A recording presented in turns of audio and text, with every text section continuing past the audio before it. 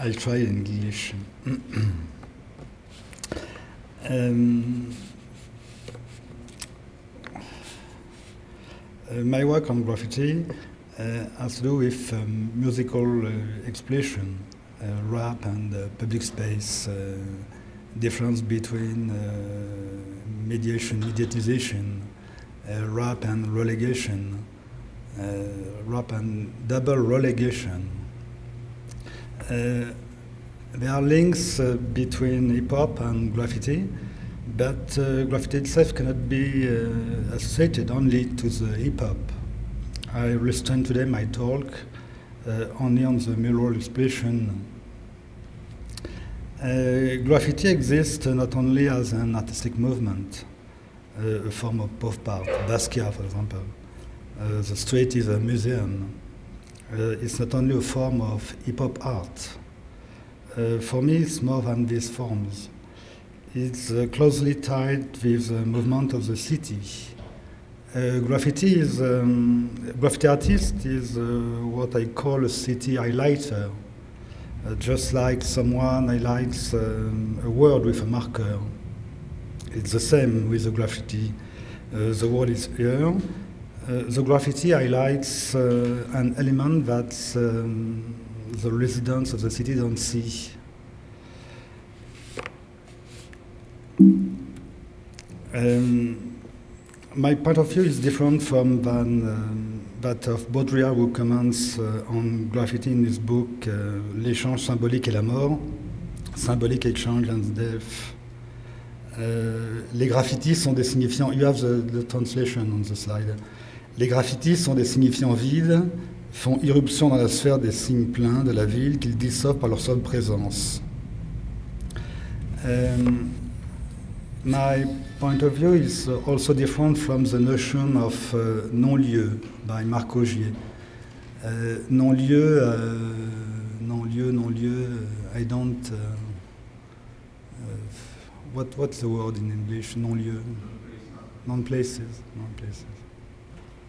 Uh, because for me, everything that exists can be emptied of signification.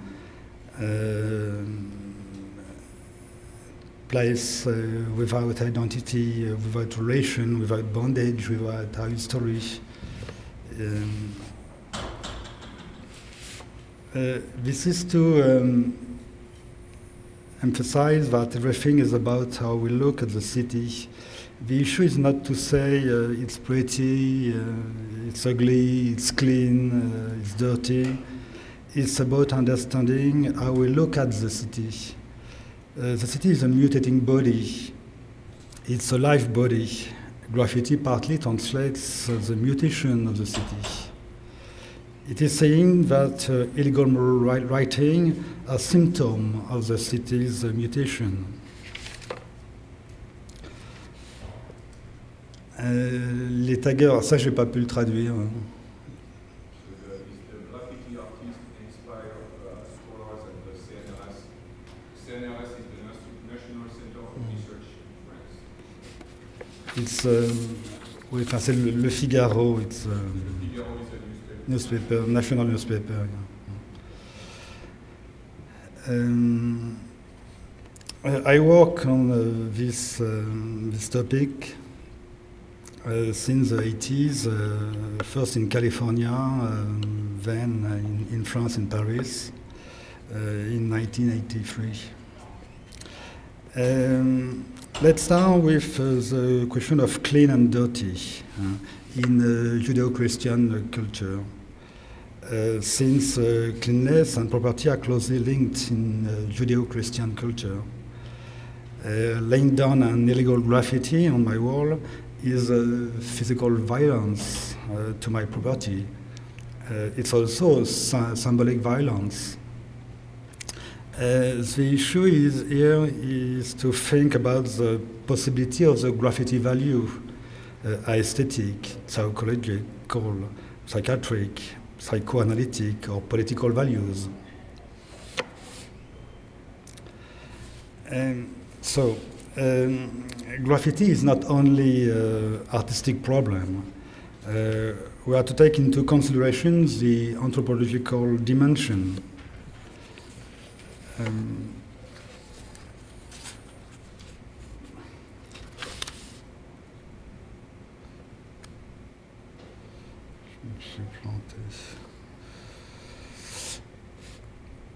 Oh, okay. The view I'm talking about today uh, to do with the question of urban resistance. Um, look at the stencil uh, on the left. Um, euh, en 2013, promis, uh, in 2030, promised, done with a sticker. I will never stick anything on the wall. I will never do street art anymore. Uh, and uh, upside, uh, downside, uh, look, defend your identity. Uh, it's uh, on the on the floor, sur le trottoir, trottoir, je sais pas. Sidewalk. Okay. Um, uh, la rue in French means um, the street. Uh, the French verb se ruer uh, means to rush. Uh, dans la rue, on se rue. hein. In the street, you rush. Uh, the street is a living space, uh, the city's spontaneous uh, theater stage, a kind of um, social laboratory. Uh, a wall is uh, like a page, uh, and does the page have to be white, or can it be a palimpsest? Uh, the page uh, can be written, erased, uh, and rewritten again. It's like uh, Baudelaire poetry, uh, écriture palimpseste. Uh, écriture palimpseste. But Come. it's just writing. Palimpsest writing. Ok, formidable. Uh, so, um, another question. Um, walls uh, have to be awakened. A wall is a private or public uh, space. Uh, in fact, uh, uh, it is a private space uh, because it belongs to an owner. own- owner. But it is uh, public as well. It is a contribution to the public space. It molds uh, the city's imagination. Uh, as a resident of the city, I have to make a choice uh, chromophilia or chromophobia, uh, gray or colorful. Uh, a city is a living, a live body or a museum.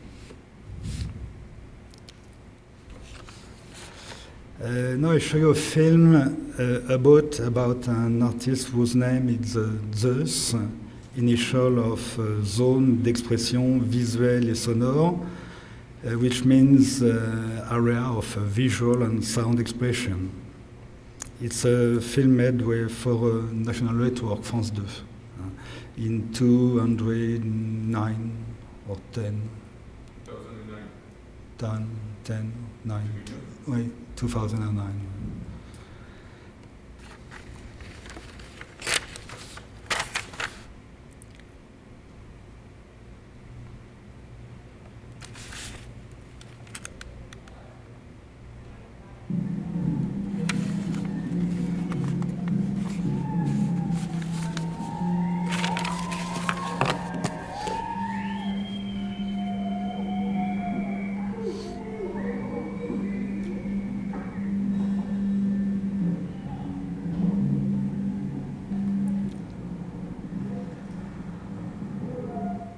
It's made with uh, ultraviolet painting. Uh, okay.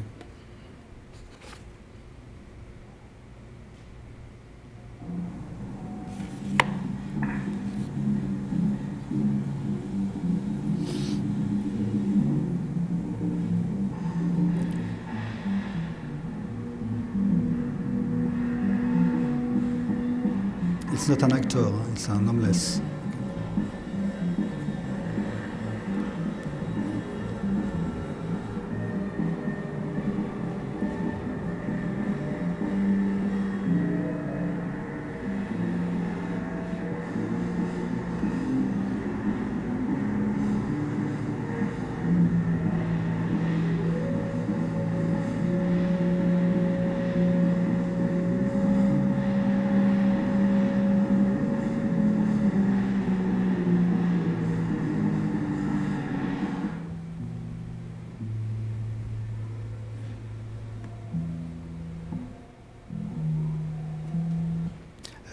Uh, I don't stand uh, my tongue.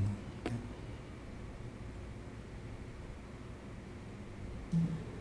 Comme écrit Miller dans dans la fin des années 70, c'était héroïque de- d'aller faire des graphes euh, dans les, dans les tunnels. Souvent, ils faisaient ça dans des conditions très dangereuses. Donc, euh, la détermination de faire un, un graffiti, elle est tellement forte, souvent. C'est ça qui en fait le côté vivant aussi, ces œuvres. C'est qu'elles sont faites euh, vraiment avec une détermination, elles ont besoin d'avoir été faites. Et puis c'est le parce que tous les gens qui vont nous dire euh, les graphes ou les tags salissent le mur portent atteinte à mon imaginaire de la propreté de la propriété. On peut très bien leur dire aussi, mais au fait, euh, il y a des zones de harcèlement euh, publicitaire. Comment ils vont accepter cette espèce de pornographie soft euh, qu'on impose, que les les afficheurs euh, nous imposent euh, dans des cas parfois moi, je dis rien, et je peux très bien aussi dire que cette zone de harcèlement publicitaire est aussi condamnable que euh, les gens qui euh, posent des graphes ou des tags sur les murs. On a quelqu'un qui agit, qui remet de la forme libre sur la forme imposée, de la, de la forme libérée sur la forme autoritaire, mais sans donner un slogan qui serait censé aller avec, sans nous imposer un système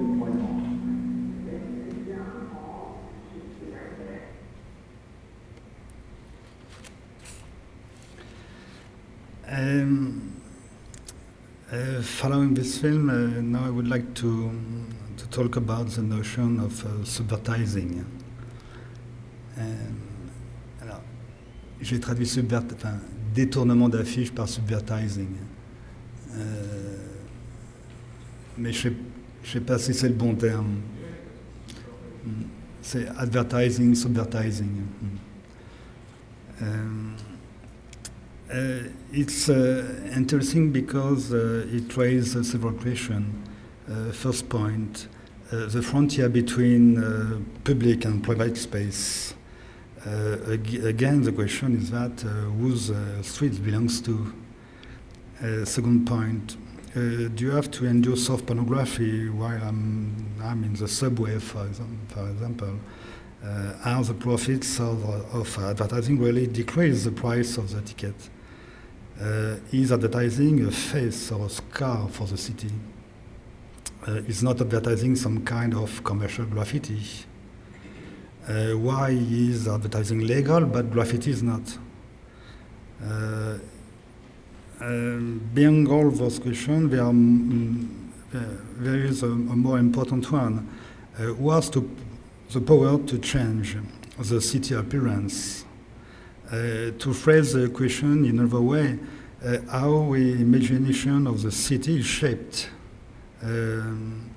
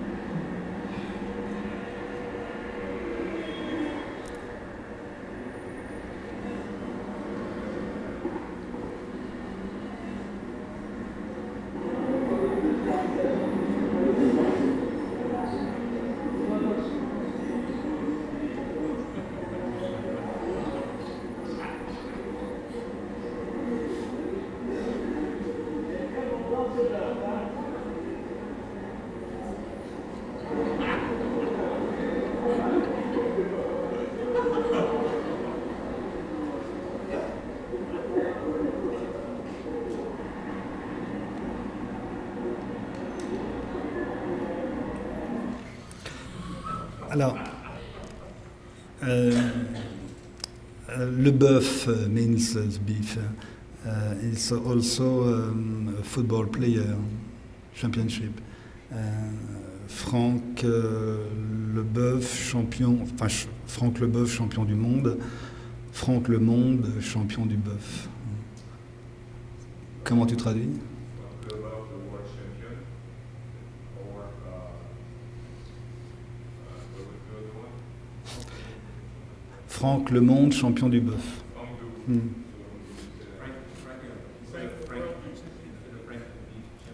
Yeah. The, the, the, the context of uh, this uh, advertising is to promote the consumption of beef during the uh, di- di- disease, uh, la crise de la vache folle. Uh, this act of graffiti is a form of advertising uh, which indicates uh, the urban resistance. And uh, now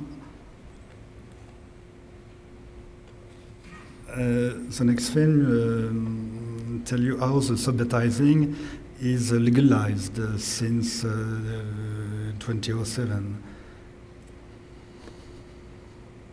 It's the same, same wall, but now it's legalized.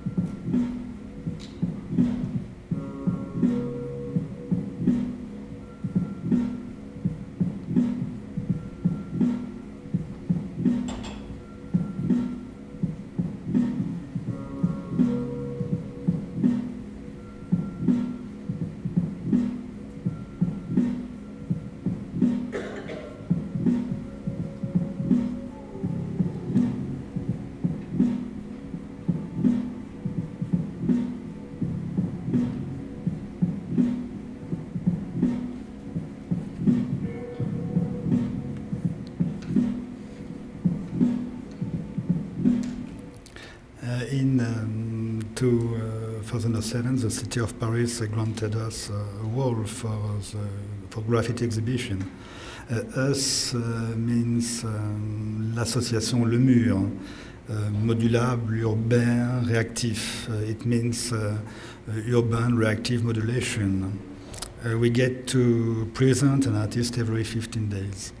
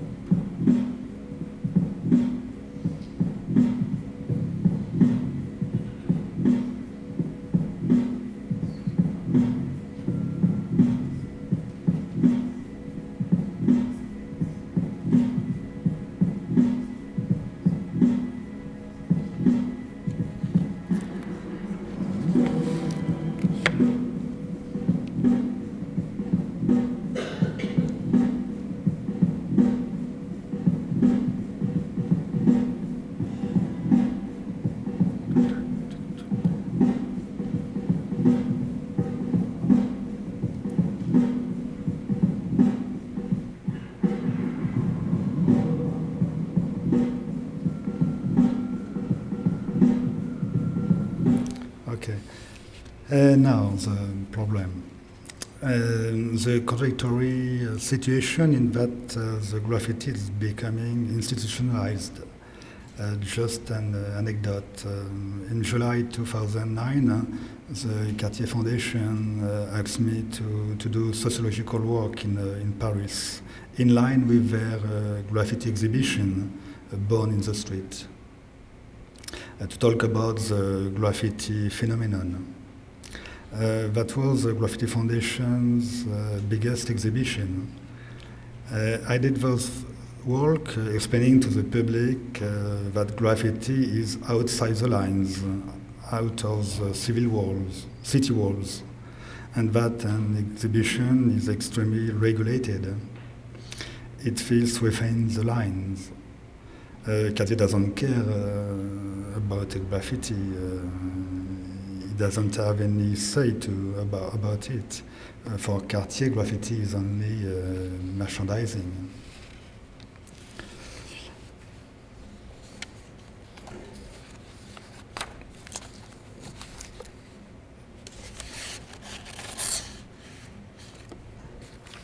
Alors là, je m'arrête en, anglais, parce que là, j'aborde un problème plus philosophique. Euh, la, la question que je voulais montrer, c'est la question de la double relégation. Je vais donner à Charles le micro, comme ça il peut traduire.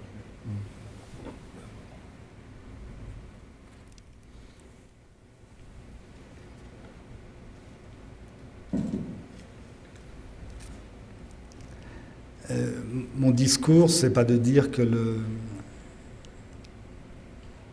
enfin, le graffiti euh, est une partie. hein. Euh, enfin, il fait, il est en partie dans le hip-hop. Okay, so he's saying um, in his talk that graffiti is a part of hip hop.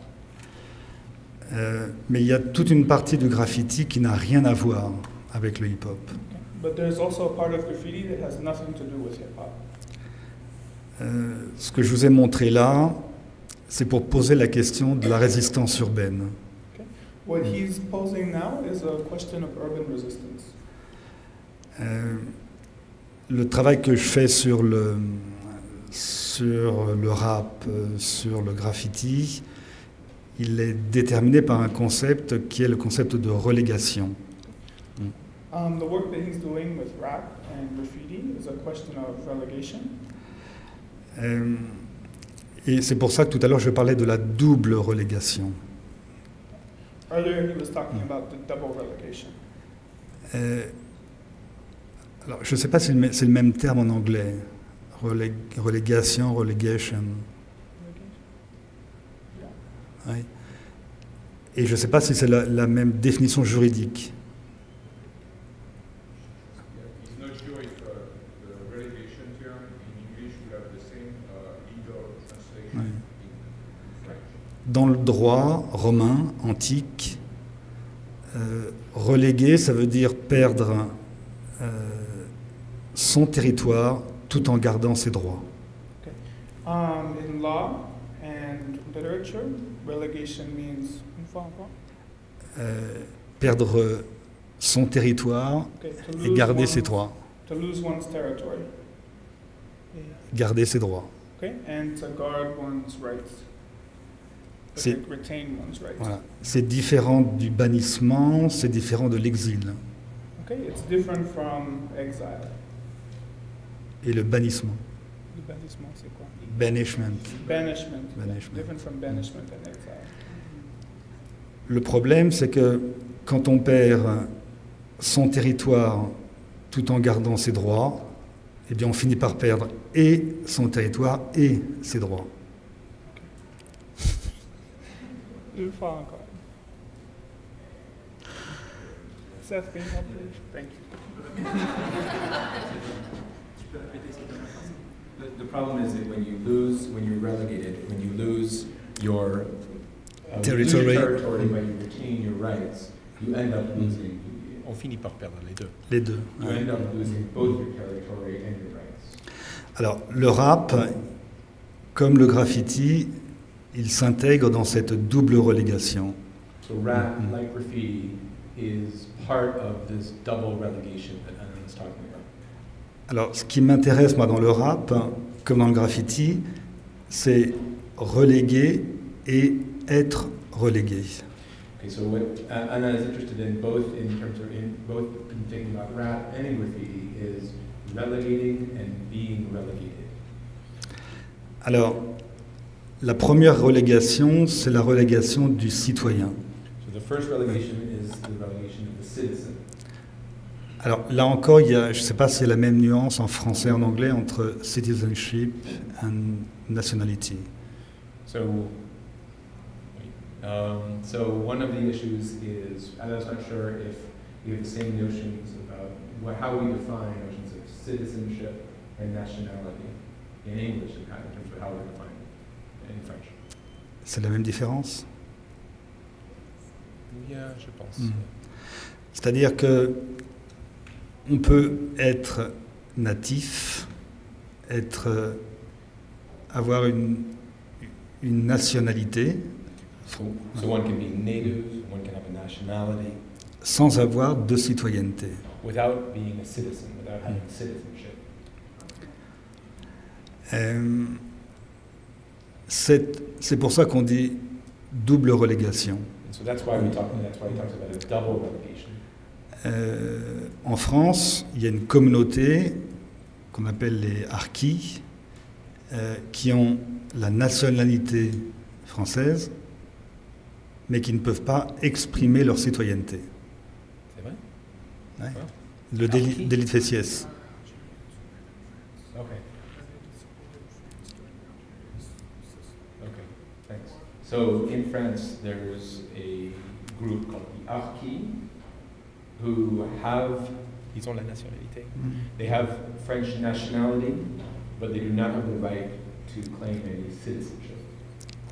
Mais harki, euh, dans le rap euh, français, euh, les beurs, c'est pareil. Les beurs, C'est les la même arabes. chose que les- ouais, okay. ouais. So it's the same thing as beurre in French rap, which is a, verlonisation. So it's it's the term Arab, Arabe, switched around through French slang called le verlan. Gives us the word beurre. So it has a similar sta- uh, sta- uh, statute, uh, status. Alors, il y a un deuxième niveau, c'est la relégation de l'habitant. So the second level is the relegation of the inhabitant. So after going from citizenship, now we're talking about living. C'est-à-dire que l'habitant, il est relégué de la ville parce que on lui demande pas son avis quand il aménage, quand on aménage le territoire, quand on construit euh, la Villette, euh, le Louvre, euh, la Défense, on ne demande pas l'avis du citoyen. Okay. Um, first, on ne demande pas l'avis, euh, Son avis du, du, du du- de citoyen, l'habitant. de l'habitant. Okay. ouais. So the first, uh, per, the first kind of relegation for the relegation for the inhabitant is that of how the city is created and shaped. So the inhabitant is not content, is not sought out. He or she is not asked their opinion when there are urban projects. Mm. When there's new development, when cities are changed, the inhabitant is subjected to that. Et en même temps, à son tour, lui, il va ce qu'on appelle mettre les lieux en vacances, c'est-à-dire les graffiter, les détériorer, comme réponse à cette exclusion. And so he, in return, the inhabitant will respond to these projects by using tags and graffiti as a way of responding to this as part of a discourse. Mm. Alors, cette relégation, on la retrouve dans le rap. So Uh, as well. Euh, c'est-à-dire que il est relégué des formes musicales standards, mais en même temps, il relègue par un phrasé euh, syncopé. Okay, so this, so Anna is going to repeat for me in a second the sentence about how rap is part of the same process of relegation. Tu peux répéter cette Mm. C'est-à-dire que le rappeur, il est relégué des formes traditionnelles musicales, des formes standards. Okay, so first, the rapper is relegated from, kind of removed from the standard forms of music. Mais en même temps, And at the same time, il relègue par un phrasé syncopé. he, Par une- he par une- relegates, he, he responds, Yeah. c'est une réponse. He responds with his own kind of syncopated, rhythmic rap, Par, enfin, c'est un, un phrasé agrammatical. voilà. So with agrammatical language. Mm. So that's a kind of response, right? Une, une agrammaticalité non standard. A non-standard Mm. agrammatical. Et il y a la même chose avec le, le graffiti. Il y a une- same thing happens with graffiti. le, le graffeur, il est relégué des formes artistiques traditionnelles So the, the graph, the, the graffiti artist is relegated, removed from the traditional forms of art, similarly, removed from traditional forms of artistic expression. Mais en même temps, But at the same time, il relègue l'habitant par un, un tracé hiéroglyphique, par une écriture hiéroglyphique incompréhensible pour l'habitant normal. okay, and, and so similar to how the rap, how rap speaks out in anti-gramma, in agrammatical or anti-grammatical expression, the graffiti artist responds with incomprehensible hieroglyphs that similarly um, present uh, difficulties of interpretation and of compre- and comprehension, Mm. or non-standard expressions. Oui, enfin, c'est plus, encore plus qu'une incompréhension. Plus que? Plus- C'est plus fort qu'une incompréhension. C'est So it's vraiment, ouais, c'est vraiment une écriture euh, hiéroglyphique. hein. So it's really a hiero- uh, writing in, hiero- in hieroglyphs, Mm. hieroglyphic writing. Bon, enfin, bon, on n'a on n'a pas le temps. Il y a plein d'autres questions, mais bon, euh, merci. euh,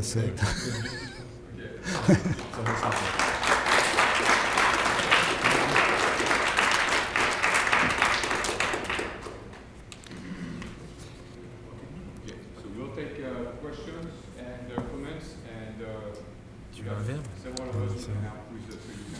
avec les questions. Oui, oui, oui,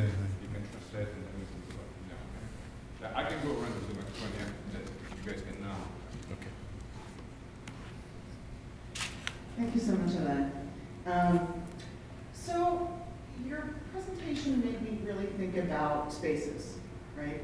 Um, this idea of graffiti as urban resistance, and I and I'm wondering if there is any spillover um, in in France into suburban or even rural contexts. If there's some sort of you know, talked a little bit about the, um, about how graffiti is starting to spill into the fine art space, um, which seems like, you know, uh, moving from one space to another. Um, but I'm wondering if it, if it has to be particularly urban. And, I'll give you a, uh, an American example, which I think um, uh, sort of illustrates this mixing of different spaces. Um, there's a graffiti artist called David Ellis that I've collaborated with a little bit. And he um, and his crew, the Barnstormers, um, go from Brooklyn into upstate New York and even rural Pennsylvania. Um, and they uh, actually do urban graffiti on barns and sheds in, in these rural spaces.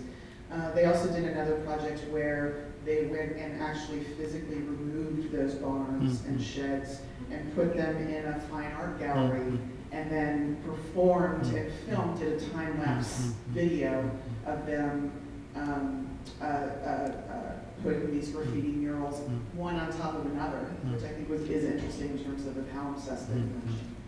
Um, and then took that all down, broke it up, and then returned it back to the little space. So I'm just, I, it, that's just a, uh, an example that makes me think about how graffiti can move across different spaces and, and what sort of conversations it can have. Um, and I'm wondering if, if, you know, that is a generative way for, Mm. for, for you to talk about some Mm. overlaps. Oui. Enfin, il y, a- il y a plusieurs questions. Enfin, y a, dans, ta, dans ta question, il y en a plusieurs. Euh, première, euh, première question, euh, la valeur du graphe n'est pas là du tout la même euh, aux États-Unis qu'en Europe. So there, you asked a couple of questions. One of the, uh, one of the questions that you're raising is the fact that graphs and, and graphs are not, they're not, don't have the same value in the United States that they have in France. Alors, historiquement, euh, il y, y a deux courants. Il y a le graphe côté pop art, par exemple, euh, où la, la rue est un, est un musée. hein. La rue est une galerie. J'utilise la rue pour exposer. So the first Um, the first strain of this is the traditional using the street as a museum, as an art gallery. Et il y a un deuxième niveau, il y a le, le graphe qui est une sous-partie du hip-hop. And the other current of this is graph as an under a, a subcategory of hip hop. C'est-à-dire le rap, chanteur, les, les deux lyrics, hein, derrière la breakdance, donc les danseurs, derrière le graffeur, et cet ensemble, ça, ça compose ce qu'on appelle, disons, la culture hip-hop. So culture, uh, culture, uh, hip hop culture is composed of the rapper, the breakdancer, the tagger, Mm. and that's the whole ensemble.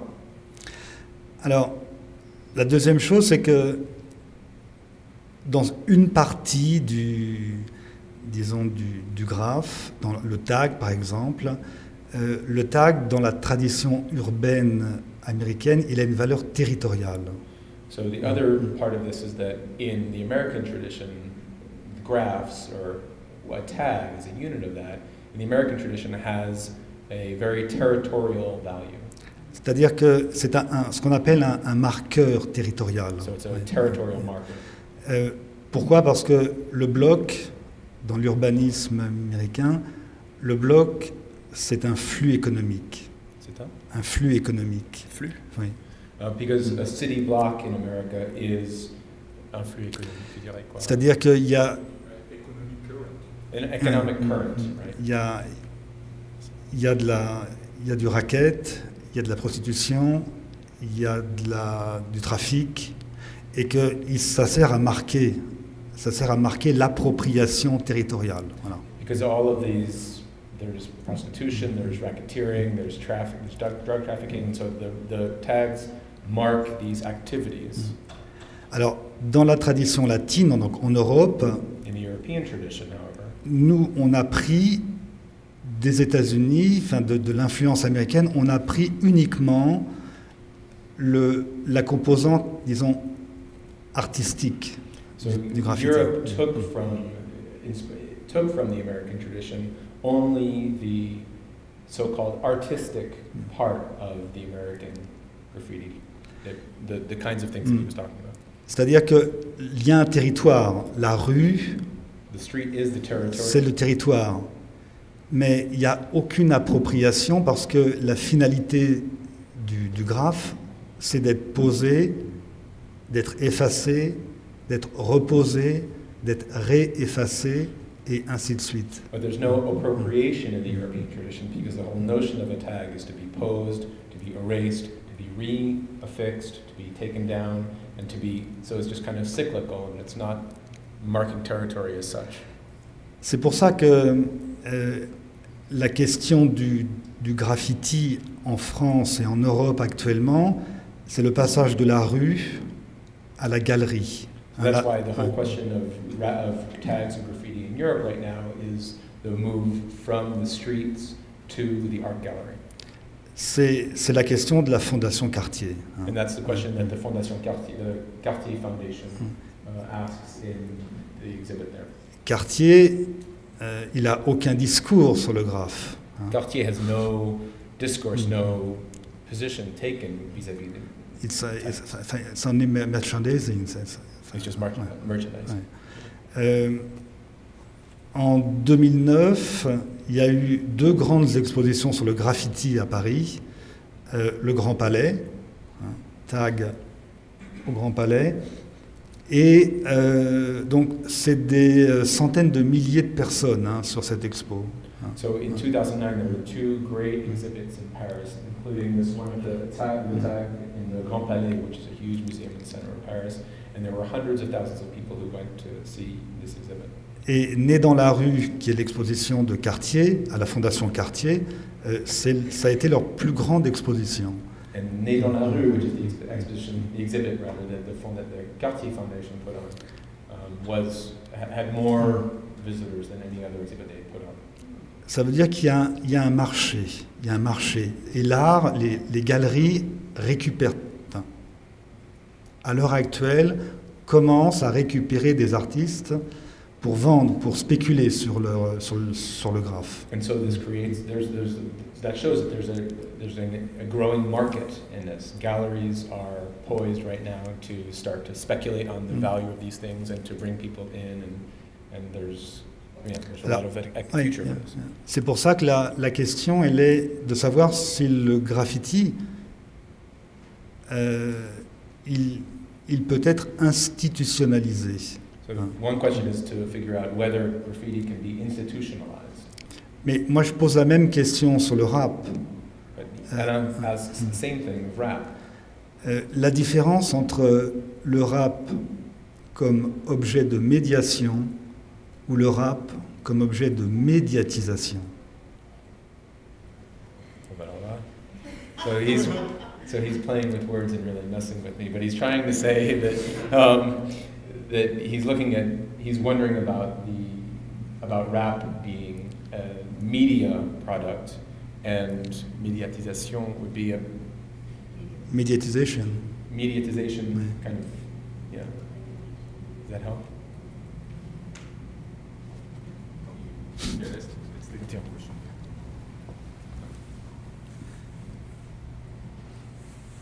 Thank you. That last point leads to my um, general question, because both of these presentations about French hip hop have to do with counter narrative, um, or a sense of resistance, and the concept of relegation or double relegation um, that was just discussed. Seems to me that um, uh, in the way in which hip hop is being incorporated into the mainstream, for example, in this exhibit, begins to chip away at those analyses. Um, and I was wondering how um, the professor looks at uh, perhaps how this, thi- this um, analysis of relegation fits into now the incorporation and appropriation of both rap and graffiti into the mainstream.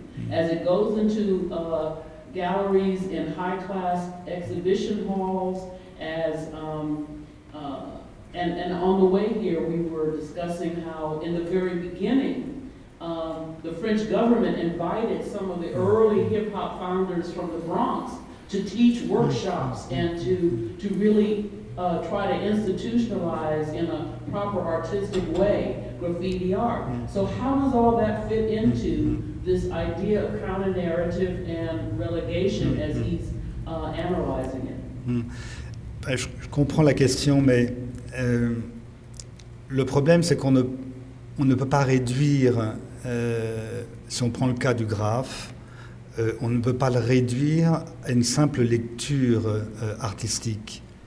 Parce que si on fait cette lecture-là, on va tomber dans les caricatures des mass médias, bon graphe, mauvais tag. Attends. Um, he he's concerned about um, reducing the question into bah, c'était beaucoup. um, into just dividing between bon, uh, bon graph, Mauvais tag. uh, that an oversimplification that would lead to a dichotomy of a good sort of good or bad forms of this. Hmm. C'est-à-dire que, à mon avis, le, le- le phénomène est plus intéressant quand on l'aborde d'un point de vue. euh, Il y a des interférences. Okay. D'un point de vue anthropologique. So he, he's more interested in coming from an anthropological, anthropological point of view and, looking at this phenomenon. Moi, ce qui m'intéresse dans le, dans le graphe, dans le tag, c'est la question que tu as posée en fait. Euh, c'est comment ça peut être un facteur d'intégration. So what he's interested in how is how it can be, and it's the question that you're asking, how it can be a factor of integration, how it can be where the integration happens. C'est-à-dire euh, enseigner le rap dans des écoles primaires, par exemple, pour inciter les, les jeunes enfants à écrire. So, for example, teaching rap in primary schools as a way to encourage young people to write. Euh, enseigner euh, le, le graphe pour euh, renouer avec les pratiques artistiques, c'est pareil. teaching graffiti in schools to encourage artistic production. It's the same, similar.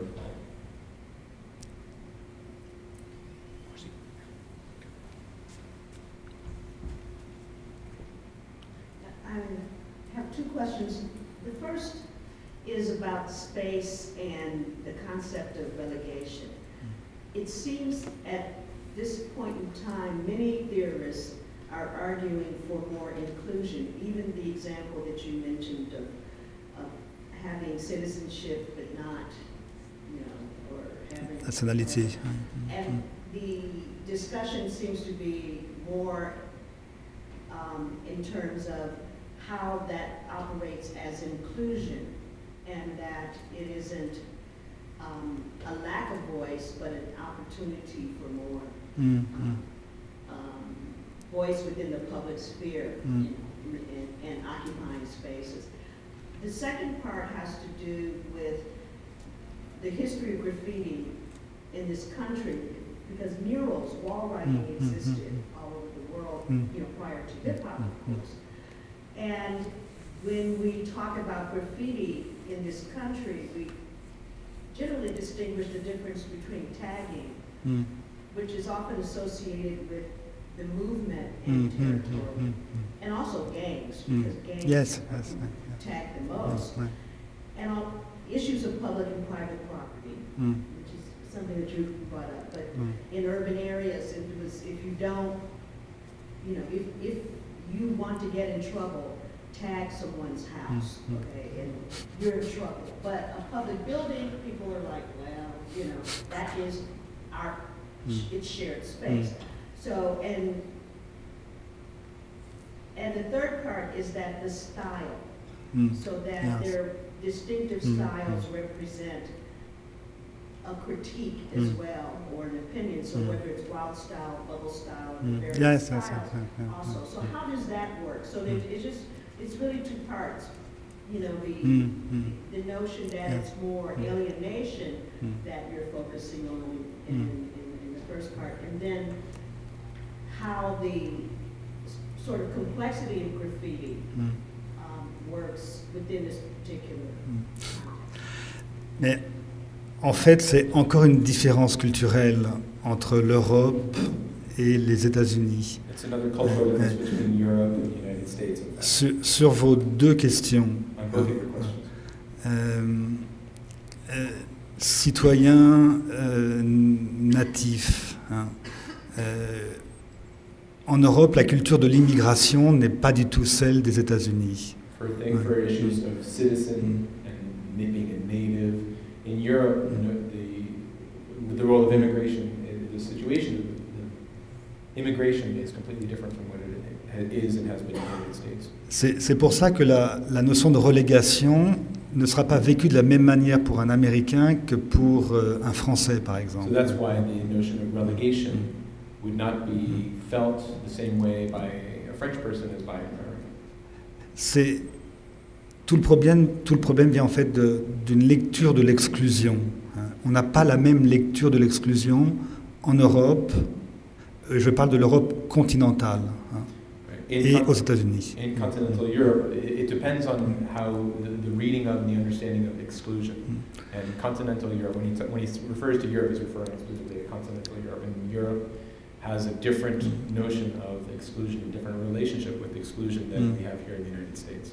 Et alors, sur la, votre- la deuxième question, euh, sur euh, la, la notion de graffiti en France, Right, On a- on, a un seul mot dans le code civil, c'est graffiti. hein.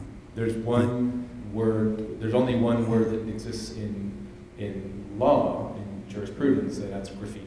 Alors, le graffiti, il a plein de formes. The graffiti, of course, has many forms. Euh, il y a le tag, There's the tag, il y a le lettrage, il y a l'ombre portée, il y a, la, il y a le détournement d'affiches, euh, il y a la mosaïque, euh, euh, il y a cette forme-là, There's this form that he's going to show us now. Bon, ça, c'est le graffiti euh, archaïque. hein. That's, that's that's old. Alors, il est ou politique ou pornographique. And it's either political or pornographic. Bon, ça, on la retrouve partout. Ça, on la retrouve partout, quel que soit, disons, le, le pays. Ça, ce sont des formes de lettrage euh, qui appartiennent, disons, à un artiste qui est l'Atlas.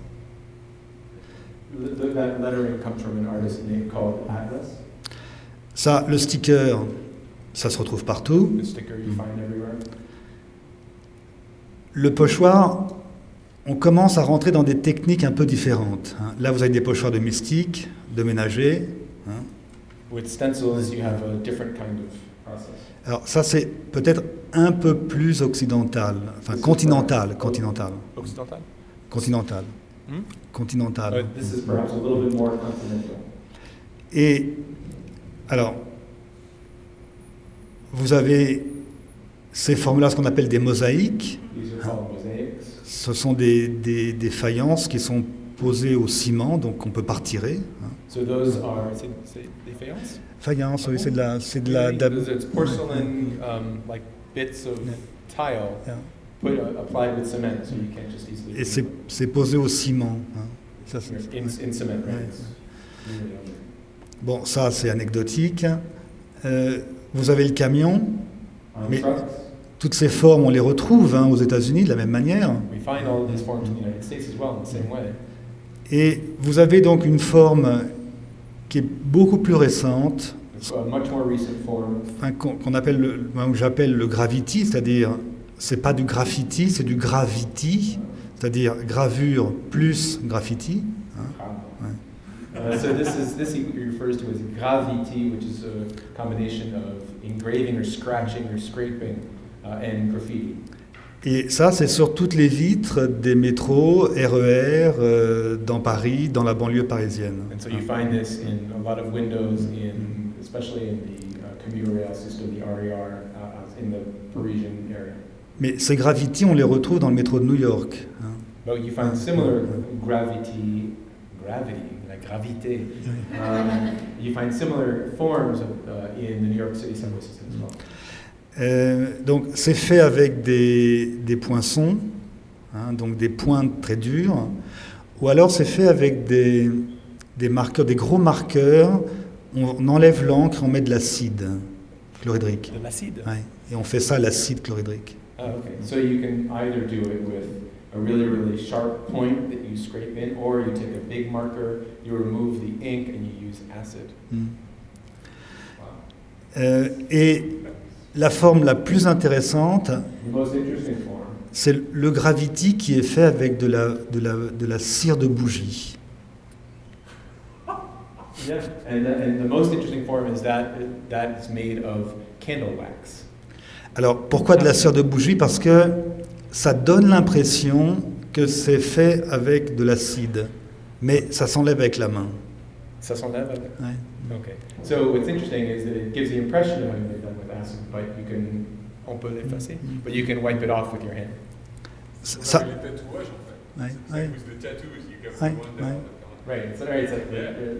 mais c'est c'est très proche de la charte Bambata. C'est-à-dire, dans la charte Bambata, il y a un article qui dit on peut taguer, on peut graffer, à condition de le faire sur un support amovible. Amovible. Right. ouais. So the notion of tagging is that you the one of the rules is that you can make these kinds of tags. C'est la charte Bambata. ouais. Hmm? La charte Bambata. Tu peux expliquer ce que la chante Oui. Bah, la charte So Bambata, there's, a, there's a set of rules about charte Bambata. Bambata, c'est un musicien new-yorkais, américain. Voilà. So Africa Bambata had a charter of rules about how to do tagging. and One of the rules in this charter is that you can do it as long as it's on a surface that can be taken away. Restez positif. Right. Stay positive.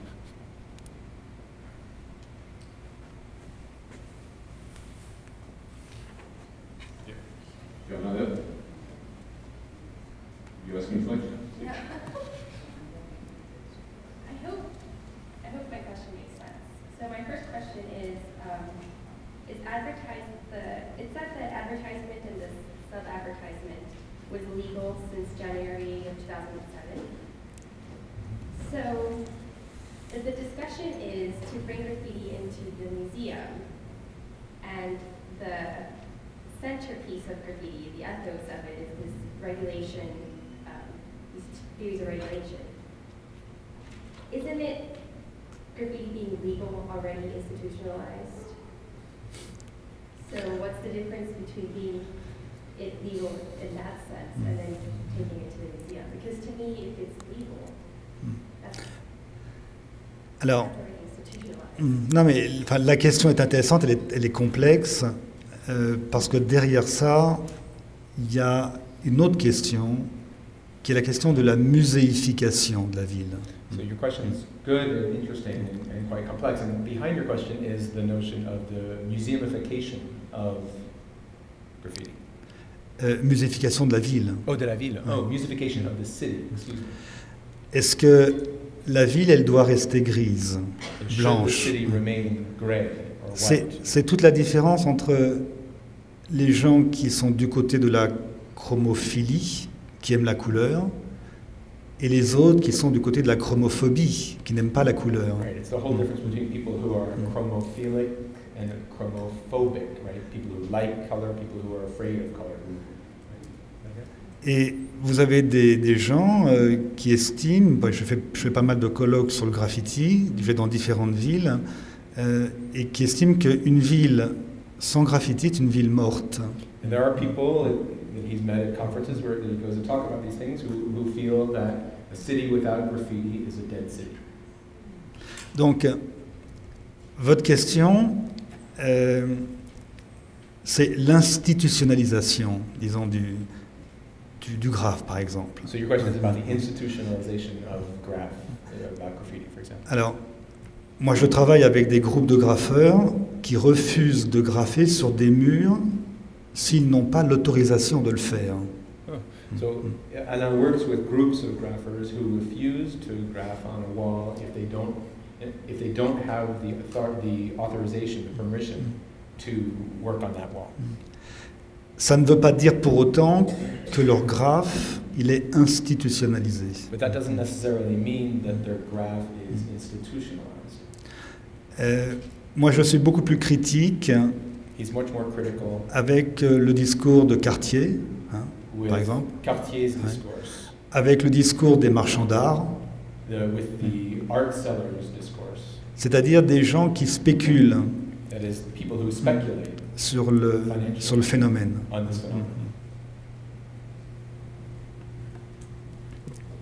Well, I think uh, it's already uh, time, so uh, we're gonna have to stop. But it's a fascinating discussion. I really want to thank all of the speakers today and uh, our heroic translator who did a very good job. I really appreciate that, Charles and uh, Seth. So let's uh, let's applaud all of them. Thank you so much.